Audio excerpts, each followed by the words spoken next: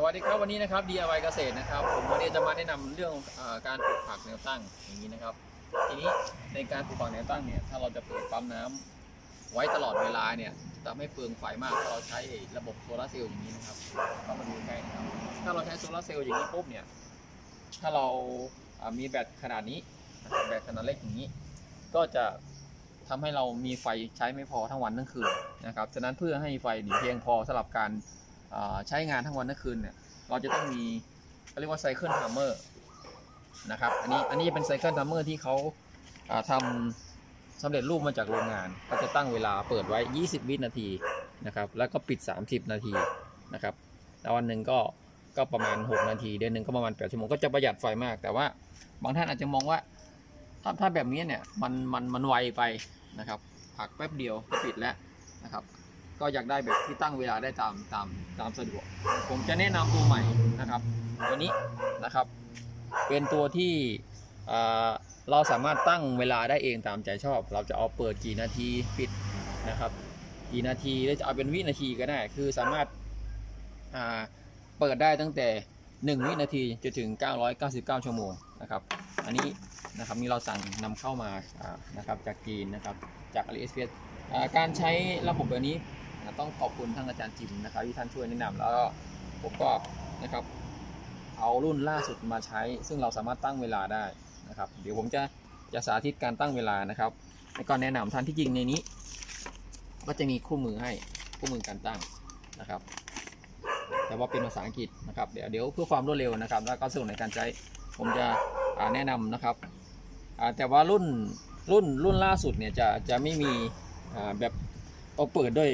ไขควงอย่างนี้นะครับ เราสามารถกดข้งด้านนอกได้เลยเดี๋ยวเดี๋ยวแป๊บหนึ่งนะครับแล้วก็พอเราได้มาปุ๊บนะครับ เพื่อจะตั้งเวลาใหม่แล้วก็หมุนอันนี้ออกนะครับเปิดออก ซึ่ง ส่วนใหญ่เวลาที่ใช้ในการเปิดระบบน้ำโดยระบบแอโรโพนิกการปลูกผักแนวตั้งอย่างนี้นะครับ ก็จะใช้การเปิดเป็นวินาทีนะครับ อาจจะ ใช้ 20 วินาทีตามระบบอัตโนมัติที่เขาตั้งมาหรือว่า ใช้ประมาณสัก30 40 วินาทีก็ได้นะครับ แต่ส่วนใหญ่แล้วที่ผมใช้ก็คือไม่เกินไม่เกิน 1 นาทีหรือ 60 วินาทีประมาณนี้ช่วงของการปิดเนี่ยนะครับจะใช้เวลาเป็นนาทีใช้เวลาเป็นนาทีอาจจะเป็นปิด 10 นาที ปิด 20 นาที ปิด 30 นาทีก็จะก็จะเหมาะสมถ้าเราปิดนะครับ มากกว่านี้ผักก็จะเหี่ยวได้เพราะว่าเขาจะเป็นระบบอ่า รากเขาเนี่ยจะลอยในอากาศนะครับพอลอยในอากาศปุ๊บเนี่ยถ้าเกิดว่าเราปล่อยให้แห้งนานเกินไปเนี่ยนะครับแห้งนานเกิน 30 นาทีเนี่ยผักก็จะเหี่ยวได้แล้วก็ผักก็จะไม่โต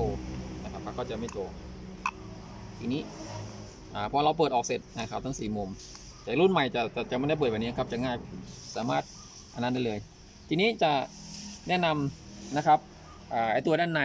นะครับ คืออันนี้จะเป็นเป็นหน้าจอดิจิตอลนะครับ ก็จะบอกชั่วโมงนาที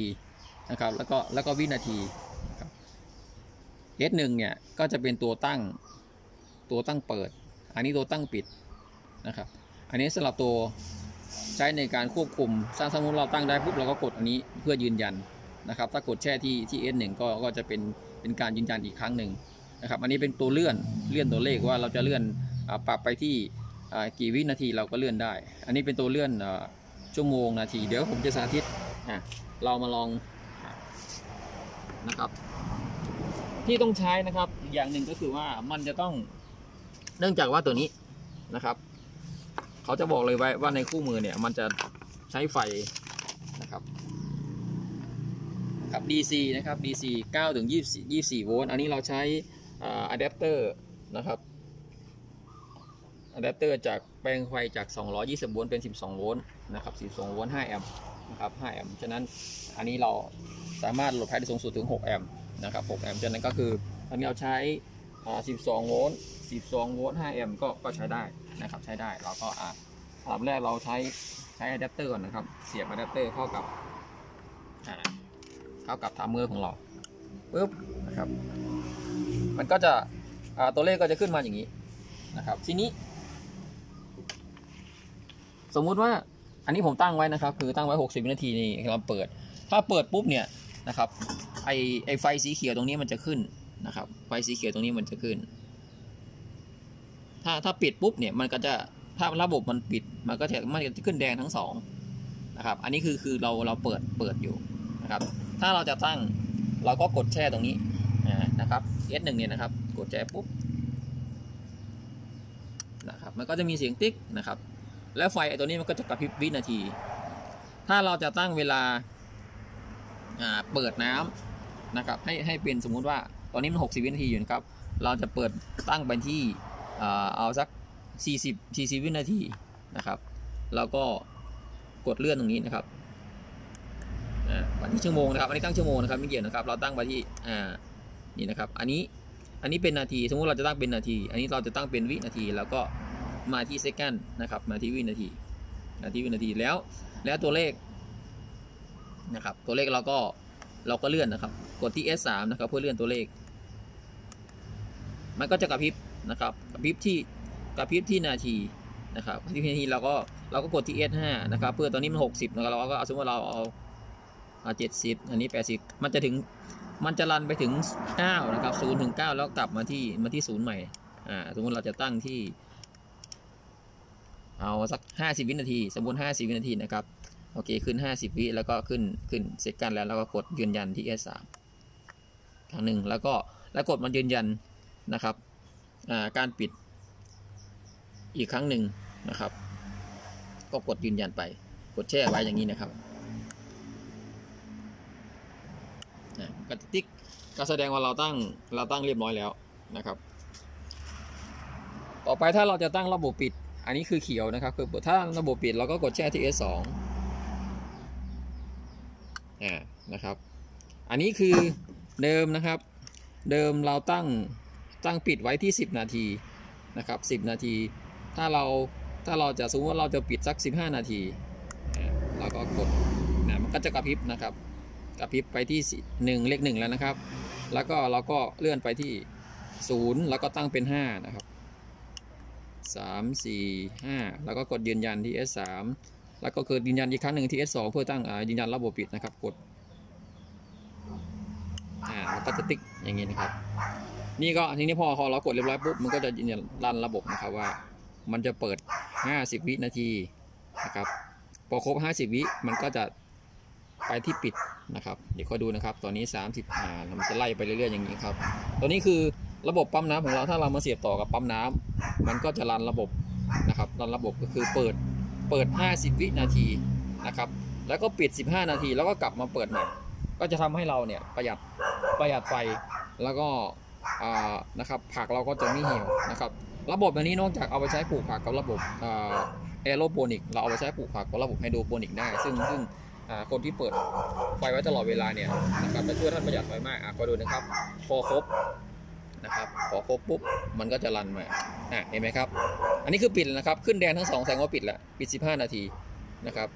45 นาทีไอ้ตัวเลขด้านหน้าท่านต้องสนใจนะครับ ปกติจะเป็นศูนย์พอดีไอ้เลขขีดตรงนี้มันไม่ออกปกติมันจะเป็นศูนย์นะครับฉะนั้นระบบที่เราใช้เนี่ยก็จะก็จะประมาณนี้ เดี๋ยวเราจะไปทดสอบกับกับปั๊มน้ำลองดูนะครับเดี๋ยวถอดตรงนี้ออกนะครับ เดี๋ยวมาทดสอบกับประมาณนี้นะครับ อันนี้เป็นคอนโดผักนะครับ ระบบ aeroponic รากลอยในอากาศนะครับตัวนี้นะครับที่เราปลูกไม่มีไม่ได้แช่ในน้ำนะครับ เป็นลอยในอากาศแล้วก็อาศัยน้ำเนี่ย พอเอาใช้ปั๊มน้ำสูบขึ้นไปแล้วก็ปล่อยน้ำลงมาก็จะตั้งเวลาไว้ เดี๋ยวเรามามาดูตรงนี้นะครับ ตรงนี้ก็จะมีก็จะมีอะแดปเตอร์ที่ต่อจากปลั๊กไฟบ้าน อันนี้ใช้ไฟบ้านนะครับ ใช้ไฟบ้านเราเราก็มาเสียบเข้ากับ cycle timer ก่อนนะครับ อ่า นะครับ เสร็จแล้วระบบมันก็จะ run นะครับ นะครับ เปิด 50 วินาที เราก็มาต่อกับปั๊มน้ำนี่ครับ ปั๊มน้ำก็จะทำงานนะเดี๋ยวให้ดูนะครับนี่นะครับ อันนี้มันไปที่ 30 นะครับ 33 นะครับ 30 วินาทีแล้วนะครับเนี่ยไปที่ 30 วินาทีแล้วก็จะรันไปเรื่อยๆอย่างนี้ ทีนี้ปั๊มน้ำตรงนี้ก็มาดูน้ำนะครับ ก็จะมีน้ำออกมา อ่า เดี๋ยวก็มาดูเห็นไหมครับ ก็จะมีน้ำหยดหยดไหลลงมาอย่างนี้นะครับ นี่นะครับ มีน้ำลงมาโดน โดนที่รากผักดูที่รากผัก เป็นเวลา 50 วินาทีนะครับ อันนี้ก็ 50 วินาที เนี่ยพอครบอ่าเดี๋ยวมาดูกันนะครับใกล้จะครบแล้วครับอ่าเดี๋ยวขอฟังเสียงน้ำด้วยนะครับพอครบปุ๊บปุ๊บเห็นนะครับ ก็คือปิดนะครับ ทีนี้มันก็จะปิดปิด 15 นาที อันนี้มันจะขึ้นมามิมินินะครับนะครับก็คือนะครับเป็นนาทีนะครับเป็นนาทีก็คือจะปิด 15 นาที พอปิด 15 นาทีครบ 15 นาทีปุ๊บมันก็จะมาเปิดใหม่นะครับ ก็จะเปิดน้ำใหม่